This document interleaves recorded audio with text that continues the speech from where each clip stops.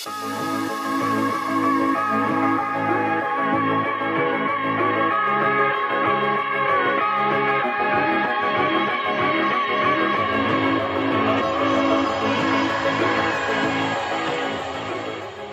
up guys? It's Aaron here again with another instructional. Today I wanted to continue on playing De La Riva guard and I'm actually going to show a specific technique that is one of my favorite techniques and I think it's often um, misunderstood and I think people are a little intimidated by it. It's the baby bolo, so it's basically like a back take. I, th I think that's the name, the baby bolo. It's just a De La Riva back take while your opponent is standing or back stepping. And so there's a lot of tiny little details that you need to do correctly in order to execute it properly in a live scenario or in class. So I just want to take some time to show you guys. It's literally one of my favorite techniques. I'm here with my good friend Ty, so let's just jump right into it.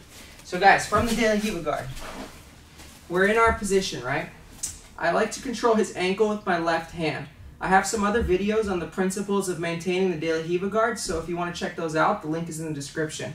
But just to rehash really quickly, my left hand is going to control his ankle. I try to keep my elbow tight to me. I don't want my elbow too exposed. So left hand on the ankle. My left foot is going to have a shallow hook, so I'm not playing deep De La Riva. I just want to control his knee like this. And then my right leg is going to be anywhere in between his knee and his hip, preferably up by his hip. But it's not catastrophic if you're closer to his knee. Just don't go too low.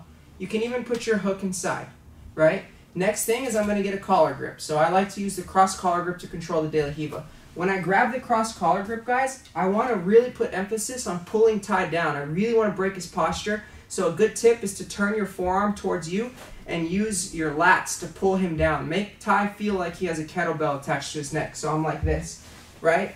Nice and tight. So the next thing I'm going to do to initiate this baby bolo, there's several different ways that it can happen. Typically the first thing that I do is I kind of loosen the collar grip so he postures a little bit. I let him posture just a little. Then what I'm going to do, I'm going to show you a very basic variation first, is I'm going to put my foot that's in between his knee and his hip, so my right leg, my free leg, on the mat.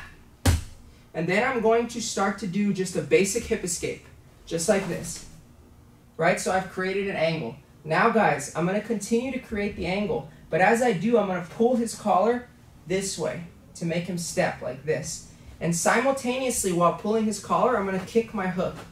Do you guys see my hook? I'm gonna kick it like this. See how he stepped back? Let's go back. So the motion to make him step back is gonna be kicking this hook, my left foot, and pulling the collar, just like this. There you go. That's what we need. Now guys, once he gives me that reaction, I typically like to switch my right hand to the belt, like this. He probably thinks I'm going to try a full berimbolo, so he's not going to fall and he's going to kind of stay here. So what I'm going to do at this point is continue to hip out while I grab that belt, like this. And then look, this foot's going to come across to his far leg. Guys, it's imperative that once I get to his far leg, I keep this tight so that he can't step around right? This is going to buy me a few seconds to make what I think is the most paramount move, where my left hand that was controlling his ankle is going to control the back of his knee. So we'll show a different angle in a second, but my left hand is going to control the back of his knee. And now I should have these grips. Once I'm here, I'm actually very safe. It's very hard for Ty to do anything. The reason that my left hand controlling his knee is so important is that if I get here and I get excited and put my leg behind his leg and he steps around, Guys, he's going to pass my guard into like a leg drag or something. So again, let's change the angle. So I have the De La Riva hook, the ankle grip, the cross collar grip. My first motion is going to be to take my free leg and do a hip escape. Right? Once I do my hip escape to get the angle, I'm going to pull him and I'm going to kick this. Everything is happening quicker, but for the sake of demonstration, I'm moving slowly. So I do this. Right? Once I see that belt, I'm going to grab it. And then look, this foot's going to come here. If I can't reach right now because of my dexterity, I just shrimp out again and then put it there. Now, very quickly, my left hand is going to grab the back of his pants. And now I'm safe to continue hip escaping and bring this leg behind the crook of his knee. So the reason that people are often intimidated by this technique are because they think that you need flexibility to do it. What I mean by that is they assume that you need to be able to bring your leg all the way over here and then like climb this way. You just need to do hip escapes. You just need to grab here, grab his pants, hip escape, hip escape, hip escape, bring your leg behind his leg. And now look, guys, one last detail. Do you notice how my hip is next to Ty's leg? Right? I'm going to scoop my hip inside like this. And then I'm going to extend Ty as I sit up. I have to sit up so that his butt hits the ground. I don't want his butt to land on me. So I'm going to pull his belt down, extend my feet, and keeping tight hooks and sit up. Just like this, guys. Look, move forward. He fell in between my legs, guys. He did not fall on my hip. That's very important. Once we do that, we just seatbelt, hook, and hook. So one more time from this angle.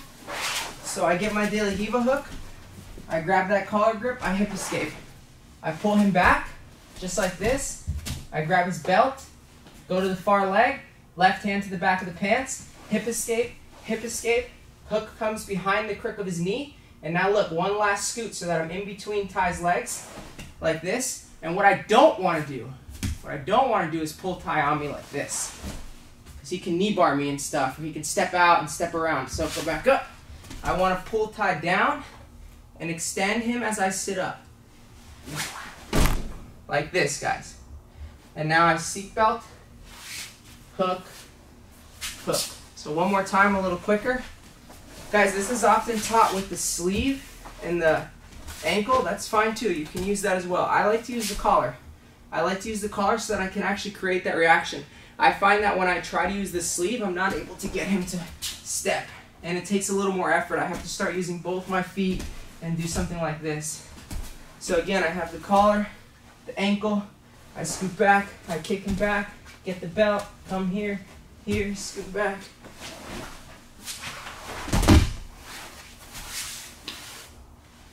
All right, guys. I know this was a long one, but there's a lot of details to be able to do it properly. So anyways, guys, try it out and let me know what you think. And if you like these videos, just like and subscribe. Thanks so much.